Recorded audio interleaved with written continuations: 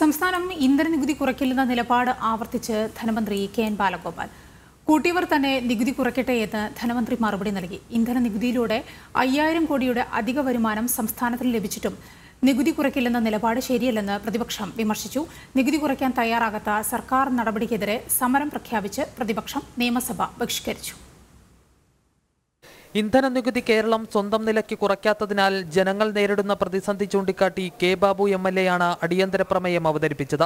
വാഹനമിടിച്ച് വഴിയിൽ കിടക്കുന്ന ആളിന്റെ വിരലിലെ മോതിരം അടിച്ചു മാറ്റുന്ന നിലപാടാണ് സംസ്ഥാനത്തിന്റേതെന്ന് കെ ബാബു കുറ്റപ്പെടുത്തി. സർ വണ്ടി ഇടിച്ച് അപകടമരണം സംഭവിച്ച് മരിച്ച ആളുടെ കയ്യിലെ വിരലിലെ മോതിരം അടിച്ചു മാറ്റുന്ന നിലപാടാണ് സംസ്ഥാന സർക്കാരിന്റെ.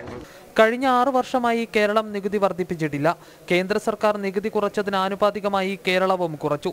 കേരളം നികുതി കുറയ്ക്കണമെന്ന ആവശ്യം സംസ്ഥാന താൽപര്യങ്ങൾക്ക് വിരുദ്ധമാണെന്ന് ധനമന്ത്രി പറഞ്ഞു. കുട്ടിയവർ കുറയ്ക്കണമെന്ന് പറയുന്നതിന് പകരം സംസ്ഥാനങ്ങൾ ഉള്ളതും കൂടിയല്ല ഇല്ലാതാക്കണമെന്ന് പറയുന്ന ഒരു സമീപനം ഈ സംസ്ഥാന താല്പര്യങ്ങൾക്ക് വിരുദ്ധമാണ്.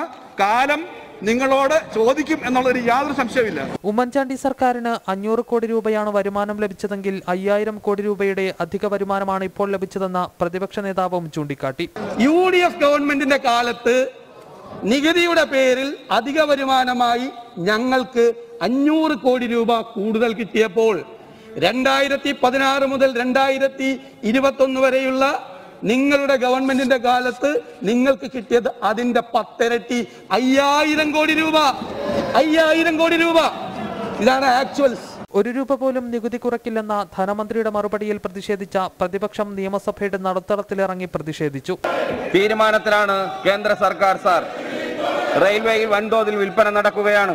ആദ്യകാലത്ത് രണ്ട് കോടി നഷ്ടം സംഭവിച്ചുകൊണ്ടിരുന്ന സ്ഥാപനം ഇന്ന് അറുന്നൂറ് കോടി അറുന്നൂറ് കോടി ലാഭത്തിലേക്ക് മാറിയ സ്ഥാപനമാണ്.